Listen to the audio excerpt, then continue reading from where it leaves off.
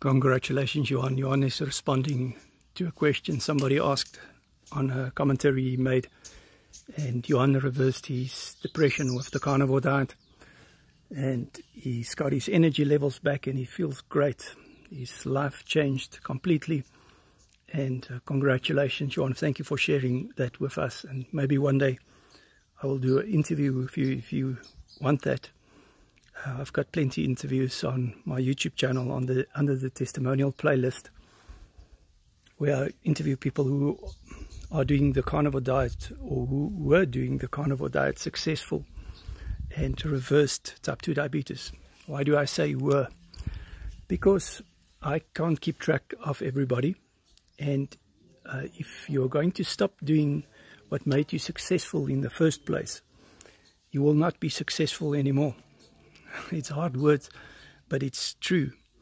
Um, the thing that made you successful, you should continue to do that. And like Brett Lloyd always say, he can't risk going back to where he came from. Brett Lloyd, uh, video number six on my blog, uh, Dr. Paul Saladino interviews him there. He also reversed his depression and his anxiety with the carnivore diet.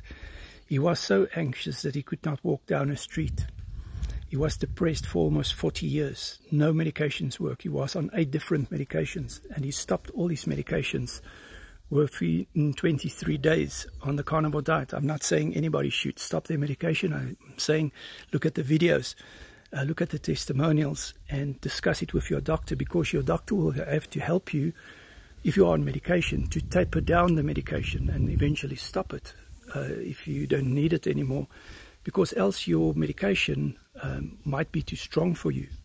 Uh, especially medications in regards with hypertension and uh, blood glucose and those kinds of medications because um, we get people uh, reversing their type 2 diabetes and their blood sugar fall from even 39 to 7 within seven days, uh, like Norman uh, did. And you can absolutely um, reversed type 2 diabetes. Johan, thank you so much for your testimonial. You have inspired somebody to check out the frequently asked question playlist.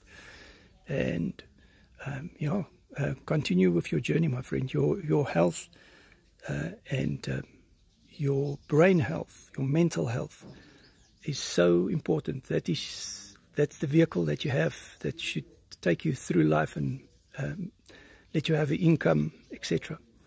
Take care of that. It's important. Take responsibility, like you want, for your own health. The answer is not always in medication.